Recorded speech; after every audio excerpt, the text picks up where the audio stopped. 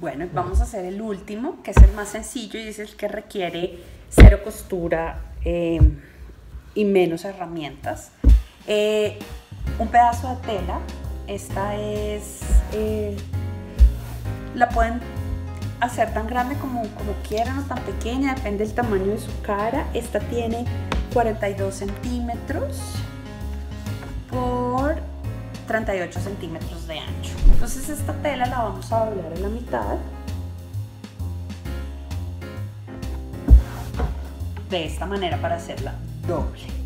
Y vamos a necesitar para este tapabocas cuatro nodrizas, que son estos ganchitos, y nuestros cordones o cintas. Vamos a hacer unos dobleces como un abanico pequeñito en la punta.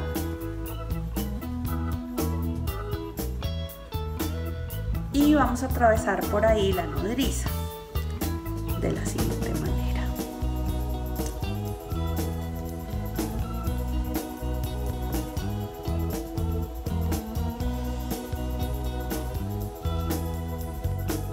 Y tenemos un lado cerrado. Ahora el otro lado.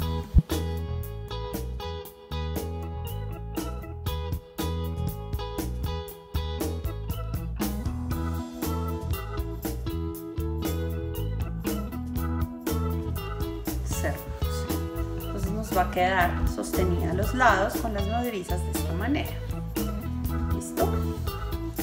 Y ahora vamos a hacer, vamos a amarrar los cordones. Para eso necesitamos las nodrizas y lo que vamos a hacer es pasar el cordón por el huequito, por el huequito de la nodriza, este huequito, y anudamos. Es muy sencillo.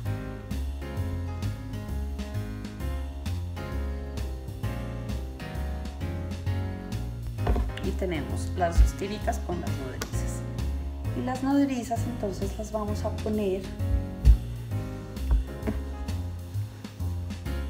las vamos a agarrar a las otras nodrizas de esta manera. Tenemos un tapabocas súper práctico para una emergencia si tenemos que salir y no tenemos nada a mano y funciona así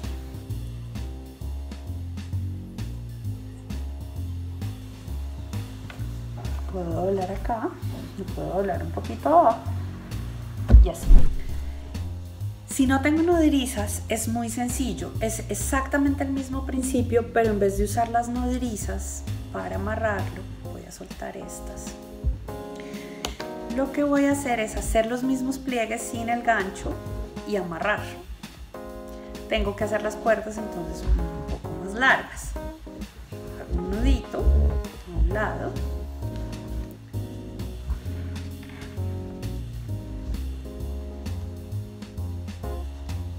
puede ser con los cordones de zapato. Un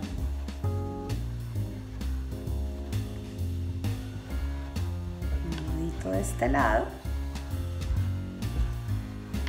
Ya los tengo anudados y simplemente con los nudos ya tengo una herramienta para una emergencia, para salir de mi casa, para hacer lo que necesite. De esta manera, y queda así.